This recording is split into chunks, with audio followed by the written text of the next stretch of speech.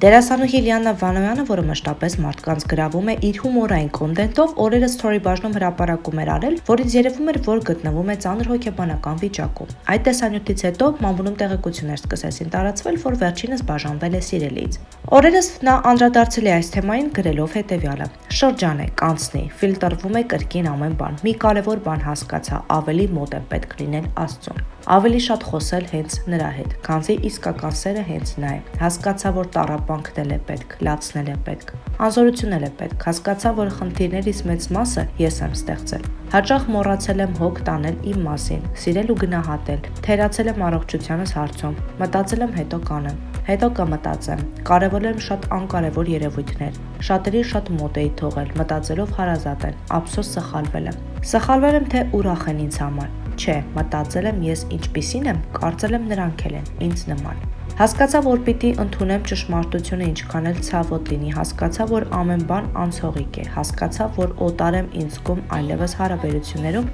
որոնք բացարձակ մտերիմ էին, հասկացա, որ երջանիկ չեմ ու որոշեցի փրկել ինձ քաոսից, մաքրեմ սիրտս աղոթքով, որ ելի հավատամ մի օր։ Գրել է Լիաննա Վանոյանը։ Բաժանորդագրվեք մեր ալիքին սեղմեք զանգակի վրա, որpիսի առաջինը դուք տեղեկացված լինեք վերջին եւ ամենաթեժ լուրերից։